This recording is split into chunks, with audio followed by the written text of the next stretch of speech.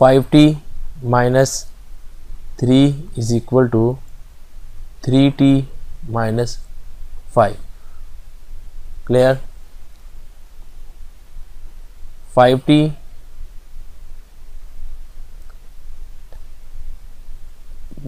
plus three T है तो इसको इक्वेशन के इस तरफ़ लेके आएँगे। इसके साथ प्लस का साइन है तो ये हो जाएगा minus three T clear now minus five ये जो हमारे पास है माइनस थ्री ये देखें जिसके साथ माइनस साइन है, यहाँ पर इक्वेशन इधर आएगा तो प्लस थ्री हो जाएगा।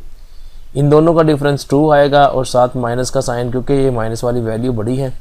यहाँ पे फाइव टी में से जब हम सब्ट्रैक्ट करेंगे थ्री टी को तो टू टी आ जाएगा आंसर दोनों ही तरफ़ हम क्या करेंगे? टू पे डिवाइड कर देंगे। ये यहाँ पे यहाँ पे तो ये कैंसिल हो गया माइनस वन यहाँ पे टू वन ज़ार टी का आंसर हमारे पास क्या आ गया? वन सो so, इस इक्वेशन में हम इसको चेक करते हैं।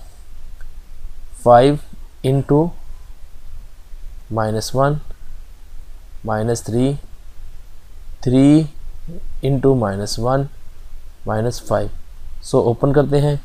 माइनस फाइव वन को माइनस फाइव से मल्टीप्लाई किया माइनस फाइव ये minus three minus five minus three minus five is equal to eight but sign minus का। यहाँ पे भी फाइव प्लस थ्री ये देखिए फाइव और थ्री को ऐड करें तो एट आएगा लेकिन दोनों माइनस का साइन माइनस का। सो so, ये देखें जी वेरीफाई हो गया minus eight is equal to minus eight